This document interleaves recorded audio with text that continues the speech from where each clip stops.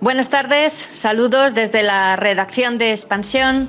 El Banco Central Europeo ha vuelto a subir hoy los tipos de interés por décima vez consecutiva y se sitúan ya en el 4,5%, un nivel que no se veía desde mayo de 2001. La decisión que acabamos de conocer hace apenas cinco minutos muestra la decisión de las autoridades europeas de combatir la inflación que continúa al alza y se ha convertido en el gran quebradero de cabeza de gobiernos y consumidores en los últimos meses. El índice de precios al consumo se situó en agosto en el 2,6% en España y en un preocupante 5,3% en la zona euro. La medida del BCE ha cogido por sorpresa a algunos analistas, ya que en esta ocasión el mercado estaba bastante dividido entre quienes apostaban por una subida y quienes esperaban una pausa en esta escalada de tipos.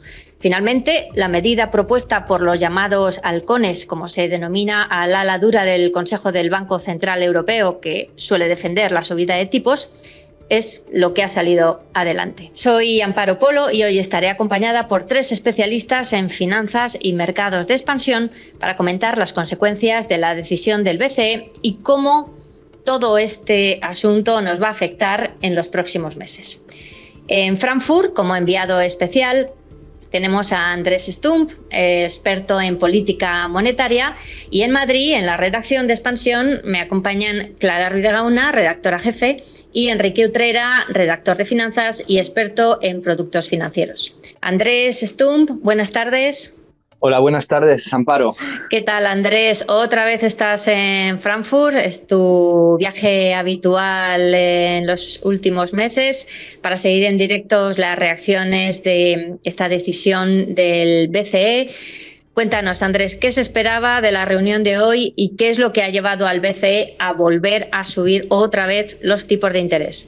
Pues en esta reunión había incertidumbre total. Ya hemos comentado que los analistas estaban divididos que prácticamente al 50% entre si habría una pausa, eh, como había abierto la puerta eh, la presidenta Christine Lagarde en la última reunión, o si por el contrario eh, volverían a subir los tipos de interés. Se han inclinado por esta última eh, opción después de darse mes y medio de recopilar datos, de trabajar en proyecciones eh, que no han, no han salido exactamente como, como ellos esperaban. La, inflación en 2024 estiman que será superior al 3% todavía, muy lejos del objetivo del 2% que se marca la institución y por lo tanto han considerado oportuno volver a endurecer eh, los tipos de interés. Bueno, dices que había muchísima expectación, que nadie se ponía del todo de acuerdo en esta ocasión. ¿Tú cómo crees que ha sido el tono del Consejo donde se ha tomado esta medida? Eh, otras veces ha habido un consenso casi absoluto. ¿Cómo crees que ha, sido el tono esta vez? Pues me, puedo imaginar por cómo han sido las intervenciones públicas de los diferentes eh, miembros del BCE en las últimas semanas, que ha habido bastante, bastante división, que no ha sido una reunión fácil, eh, que, que la opción de la pausa estaba ahí y que finalmente y pese a las ausencias, porque no les tocaba, no les tocaba votar en esta reunión de gente de halcones tan importantes como eh, el, presidente del Bundesbank eh, y otros, eh, ha salido adelante la subida de tipos. Eso sí, en el comunicado vemos una cosa curiosa. El BCE recalca que los tipos ya han alcanzado niveles suficientemente restrictivos como para que si son mantenidos en el tiempo devuelvan la inflación al 2%. Entendemos entonces que están indicando luego todo puede cambiar, pero que están indicando que se puede haber alcanzado un techo ya.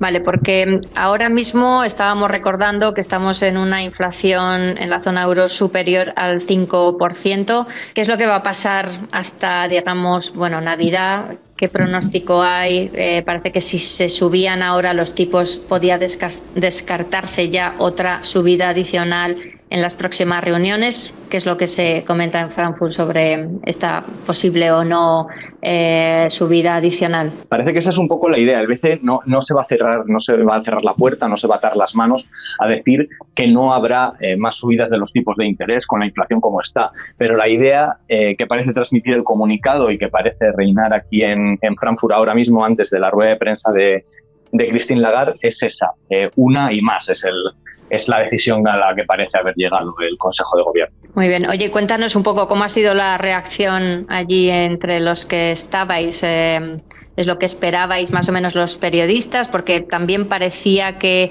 lo que se pensaba en las últimas horas ha cambiado, ¿no? Ayer hablábamos, parece que había eh, un poco de equilibrio entre quienes pensaban que se podía subir y quienes pensaban que se podía mantener. Esta mañana veíamos que había subido ya cerca del 70% del mercado consideraba que iban a subir los tipos. Eh, ¿Qué es lo que vosotros pensabais allí? Sí, aquí había un cierto eh, rumor eh, respecto a las, a las proyecciones macroeconómicas antes de que se, hubieran publicado. Ya se rumoreaba que no, que no eran satisfactorias y por lo tanto cobraba fuerza pues esa idea de la subida de 25 puntos básicos. Que ojo, al final puede quedarse todo en lo mismo porque la otra opción que se barajaba era una pausa ahora y quizá retomar la subida eh, más adelante. O sea que puede que el precio del dinero, sea en septiembre, sea en octubre, eh, se quede en la cota en la que todo el mundo pensaba que íbamos a estar. Aquí entre los periodistas, pues la verdad es que bastante sorpresa, bastante sorpresa la reacción cuando estaban leyendo el, comunicado por la megafonía, que es así como lo hacen aquí en Frankfurt, cuando han dicho la frase de sube 25 puntos básicos, eh, se ha oído un O generalizado bastante, bastante curioso y que no suele pasar en otras veces donde la decisión pues ha estado más cantada. Mucho periodista con hipoteca, ¿eh? Estoy... tengo que dejar, puede ser, puede ser, te tengo que dejar amparo que me, me, tengo que ir ya a la, a la, rueda de prensa. Vale, sí, sí, sabíamos que nada, en unos minutos empieza la rueda de prensa de Christine Lagarde para dar más detalles sobre qué ha pasado en el Consejo y cuál es un poco la perspectiva que, que vislumbra. Así que, bueno, Andrés, muchísimas gracias como siempre. Te iba a decir que muchísimas siguieras gracias. en el debate, pero no va a poder ser. Así que, bueno, nos vemos a la vuelta y, y, no, y te leemos, eh, por supuesto, en expansión.com. Así que gracias. gracias. Eh, Enrique Utrera, eh, otro habitual a estos, a estos programas que hacemos cuando hay reuniones del Banco Central Europeo, es nuestro es experto en productos financieros, eh, hipotecas, depósitos, en fin, todo lo que mueve ahora mismo eh, el interés de, de, muchos de nuestros lectores. Enrique, ¿cómo afecta esta nueva subida a, en fin, a todos los consumidores que tienen una hipoteca? Malas noticias, desde luego, ¿no? Bueno, no son las mejores noticias posibles pero eh, es verdad que, esta noticia, que esta, que esta subida de los tipos de interés hasta el 4,5% estaba parcialmente descontada. Hemos visto en, los dos últimos días cómo el tipo diario del Euribor se había tensionado, había superado de nuevo el 4,1%, anticipando la decisión que ha tomado hoy el BCE. En principio, eh, es posible que las hipotecas puedan seguir subiendo, que lo hagan un poco más. Pero eh, la buena noticia para los hipotecados es que creo que el recorrido al alza de, los tipos de interés de los préstamos para compra de vivienda está ya muy cerca del, del techo.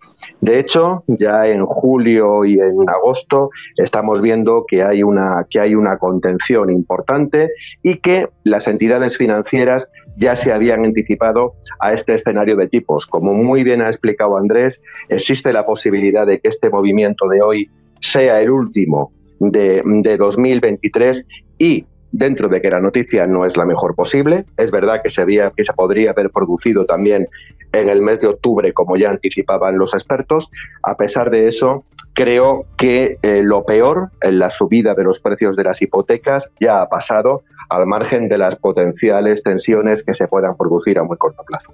Bueno, esto como, como todo en la vida, los hipotecados se llevan la peor parte, pero puede haber gente beneficiada también con esta subida de tipos. ¿Cuánto recorrido hay para que mejore la rentabilidad del ahorro más conservador, como son las letras o como son los depósitos? Algo que estamos viendo al alza en estos momentos, sobre todo en España. Pues, pues ocurre algo parecido a lo que he explicado sobre las hipotecas pero en, pero en sentido contrario. Es muy posible que en estos próximos días o semanas veamos algunas subidas de las rentabilidades, de los mejores depósitos del mercado y de las cuentas remuneradas, pero tampoco debemos esperar ya mejoras tan espectaculares como las que hemos visto en los seis, siete primeros eh, meses del año. Igualmente, las entidades financieras ya se habían anticipado este escenario y en estos momentos es que hay ya en España alrededor de una decena de, depósitos a plazo que están pagando eh, entre el 4 y el 4,4%. ¿Pueden subir más?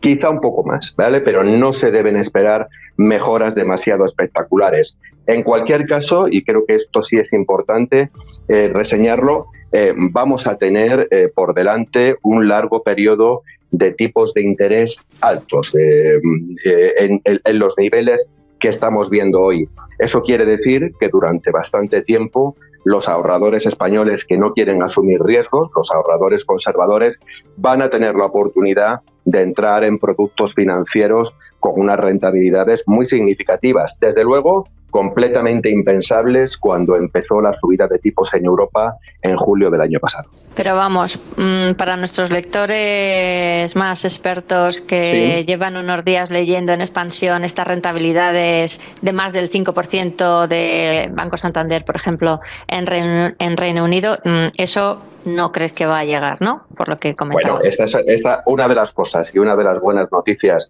que yo creo que se van a llevar los miles de clientes de la gran banca española en, en los próximos eh, semanas y meses, es que yo creo que estas entidades van a empezar a remunerar los depósitos. El primer paso ya lo ha dado hace unos pocos días eh, CaixaBank, que mm, dependiendo de si se aceptan más o menos condiciones, ya está dando entre el 1 y el 2% de rentabilidad a todos sus clientes y creo que pronto, pronto eh, vamos a ver a otras entidades siguiendo los pasos. No vamos a ver rentabilidades, desde luego, tan altas como las que, eh, por ejemplo, Santander, que lo citabas ahora mismo, está ofreciendo en otros países, pero sí es de esperar que poco a poco la gran banca se sume a ese ejército de entidades europeas, sobre todo europeas, que están pagando muy bien en España. Muy bien, Enrique, muchas gracias. Bueno, mantente allí por si quieres aportar algo más mientras hablamos con Clara. Clara Ruiz de Gauna, redactora jefe de Expansión. Tú has vivido en Nueva York muchos años como corresponsal, conoces muy bien el mercado americano, así que cuéntanos qué se espera de la reunión de la FED eh, la semana próxima. ¿Seguirá los pasos del BCE o tomará una decisión diferente. Pues mira, Amparo, yo no creo que los periodistas de la sala de prensa de Washington que escuchen la noticia hagan ninguno, como comentaba Andrés que ha pasado en Frankfurt, porque parece clarísimo que la Reserva Federal se tomará una pausa en la subida de tipos. Es verdad que en Estados Unidos están bastante más altos que en Europa y eh, la Fed, la Reserva Federal, lleva subiéndolos eh, sin interrupciones durante 10 ocasiones. Solamente se tomaron una brevísima pausa en junio, que digo brevísima porque en la siguiente reunión de finales de julio los volvieron a subir.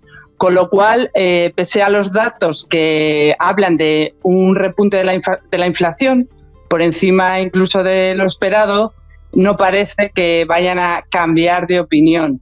Bueno, entre otras razones porque eh, la inflación en la que se fija la Fed sí que está dando señales de, de, contenerse y en cambio la, eh, la, inflación que ha subido al 3,7% está muy influenciada por la subida de los precios del petróleo que responde a su vez a situaciones geopolíticas en las que la Reserva Federal tampoco tiene mucho que hacer ahí. O sea que con esto nos quieres decir que en Estados Unidos sí que está teniendo un efecto positivo o al menos el efecto que quiere la autoridad monetaria en la economía eh, se está enfriando de alguna forma. Hay peligro de que esto acabe en una recesión, que es lo que también muchos expertos comentan. Pues mira, sí que hay ciertos síntomas de enfriamiento de la economía. Por ejemplo, las ofertas de empleo están cayendo, se están generando menos puestos de trabajo, eh, los salarios se están conteniendo en fin, el mercado laboral, que es el gran motor de la economía de Estados Unidos, sí que eh, deja ver ciertos síntomas de, enfriamiento. La recesión no se ve como tal, pero muchos la auguran, aseguran que va a llegar sí o sí, aunque no se sabe cuándo. Las análisis, el desconcierto se ve, por ejemplo, los analistas lo que prevén el crecimiento económico de Estados Unidos van desde una subida de más del cuatro a caídas incluso, con lo cual demuestra mucho el desconcierto que hay ahora mismo con, con el rumbo económico, también muy afectado por las exportaciones, por el consumo particular, que influye tantísimo en el PIB y en la riqueza de Estados Unidos, eh, con lo cual mm, no sé decirte si va a haber recesión, parece que queda claro que la va a haber, lo que no se sabe es cuándo. Muy bien, Clara Ruiz de Gauna, muchísimas gracias. Gracias también a Andrés Stump, que nos ha acompañado desde Frankfurt, y también a Enrique Utrera, que estaba en Madrid, aquí en la redacción de Expansión. Muchísimas gracias a todos por escucharnos y nos vemos en otra próxima ocasión. Gracias.